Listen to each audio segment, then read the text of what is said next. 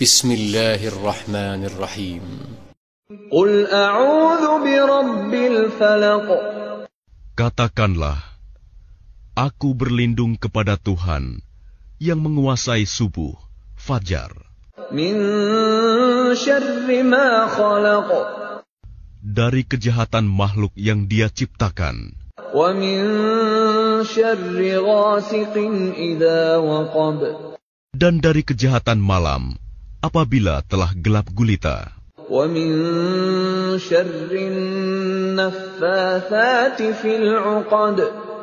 Dan dari kejahatan perempuan-perempuan penyihir yang meniup pada buhul-buhul talinya.